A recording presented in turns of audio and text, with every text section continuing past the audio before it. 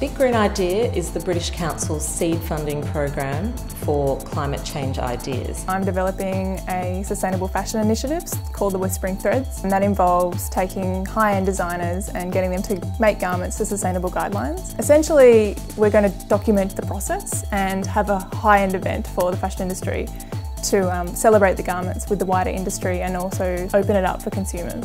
The eco-entrepreneurs the British Council of Big Green Idea foster fits with our mission to develop sustainable ideas for the long-term future. Around the world there are billions of people who are living in situations where they don't have access to fresh greens. Aquaponics is the integration of recirculating fish farming and hydroponic plant production. The Big Green Idea project that Wilson and I have taken on is to build a developing world aquaponics system which is very cheap to produce. The Postie bike in Australia is a pretty well known and well respected little bike. It was sort of the ideal basis for conversion. Urban sustainability is, is one of those problems as there's more environmental pressure to reduce um, CO2 emissions, small electric vehicles hold a promising future for, for reducing those sorts of emissions. LRQA sees itself as a thought leader.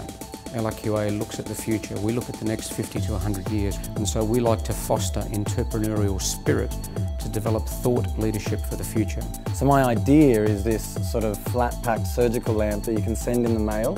So by getting it to one piece it means less manufacturing so the benefit of, of, this LED light running off a solar panel opposed to a petrol generator or a kerosene lantern is obviously less emissions. Funding is available to applicants of 10,000 or $20,000 in Australia for great ideas on how to act on climate change and create a more sustainable future in Australia. Big green idea.